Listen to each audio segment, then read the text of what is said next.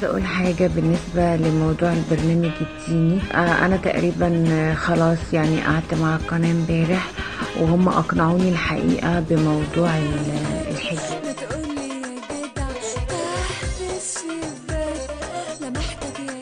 من تحت الشباك لمحتك يا جدع لبرنامج ديني أهل العلم. فحقا إذا لم تستحي فافعل ما شئت.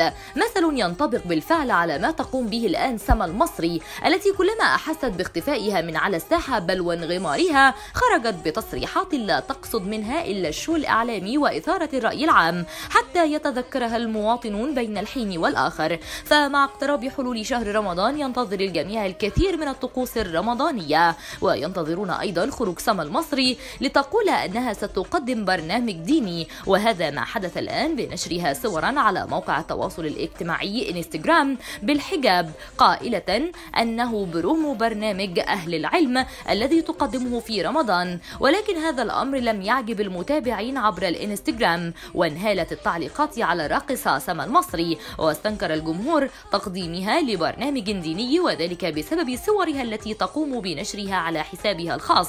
وأيضا عندما أثارت الجدل مؤخرا بإعلانها أنها تريد الزواج من اللاعب المصري محمد صلاح لشهر واحد وكان الشيء الذي استثار غضب العديد من المتابعين أن المصري راقصة وممثلة لا يصلح أن تكون في مكان مقدمة لبرنامج ديني وخلال الشهر المبارك. وقد أثارت الجدل السنة الماضية أيضا حول نفس الموضوع بسبب تقديمها لبرنامج ديني. فإذا لم تتمكن من إثارة الرأي العام بخروجها بتصريحات عن برامجها الدينية تثيره بخروجها بقرار ارتداء الحجاب الذي لم تفعله أيضا فضلا عن إعلانها في وقت سابق ترشحها للانتخابات البرلمانية والتي استبعدت منها بسبب فضائحها مع نائب سلفي. سمية عطية حداء. ما تستغربوش فهو الاسم الحقيقي لسما المصري التي بدأت حياتها كمذيعة تعرض أشهر الكليبات والتي تركت مهنتها كمذيعة بعد أن تعرفت على محمد عبد العال رئيس حزب العدالة الاجتماعية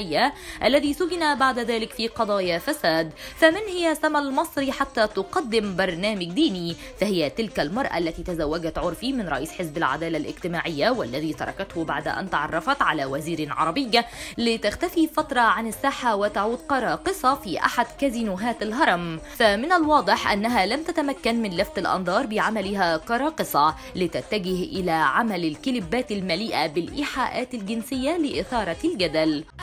أحمد الشبشب أحمد وده كان بصبع أحمد وده لسه جديد أحمد جايبة في العين هذا فضلا عن تنويعها في الكليبات بين السافل والساخر لتخرج بكليبات ساخرة من الأحداث السياسية.